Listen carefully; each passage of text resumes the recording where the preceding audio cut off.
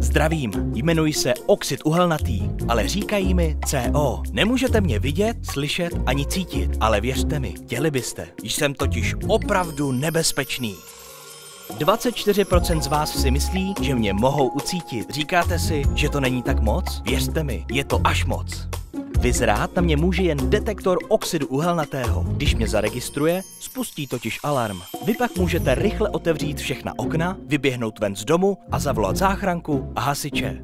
Ale to mě netrápí, protože 79% z vás doma detektor oxidu uhelnatého vůbec nemá. Počkejte chvíli, co to slyším? Pamínek říkal, že v tomto domě žádný detektor není. Ne! Ne! Potenciálně nebezpečná zařízení, kotle ústředního vytápění, na dřevo, uhlí, plyn nebo topný olej, plynové sporáky nebo trouby, plynové zásobníkové a průtokové ohřívače vody, garáž s motorovým vozidlem, krby a krbová kamna. Oxid uhelnatý člověk svými smysly neodhalí. S jeho detekcí vám pomůže detektor CO. Ujistěte se, že ho máte doma.